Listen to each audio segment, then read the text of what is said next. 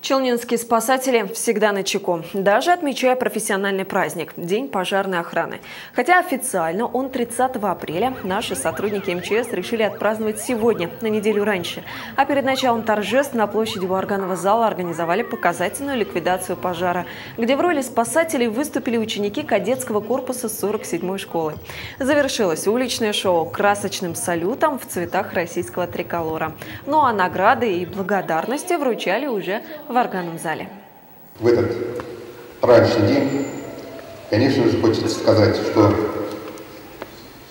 многотысячный коллектив, главное управление и министерство – это сплоченные, готовые оказать любую помощь в сложной ситуации не только жителям Татарстана, но и гостям.